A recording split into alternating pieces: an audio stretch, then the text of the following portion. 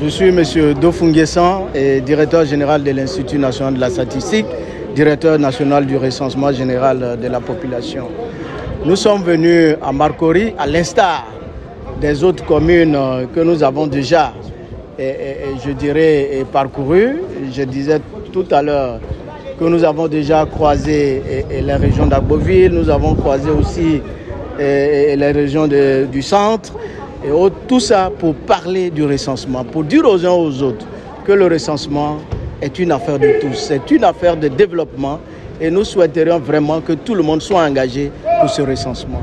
Mais nous sommes à Marcory pourquoi? Nous sommes à Marcory tout simplement parce que eh, nous avions indiqué tout à l'heure des taux et quand on regarde ces taux, ces taux sont très bas au niveau de Marcory. Il est important pour nous de remobiliser toute la population de Marcory, tous les chefs, tous les et aussi tous les étrangers qui vivent au niveau de Marcory et tous les Ivoiriens pour qu'au soir du 7 euh, décembre, qu'on puisse dire Marcory aura fait plus de 90% hein, de ces populations qui se sont recensées.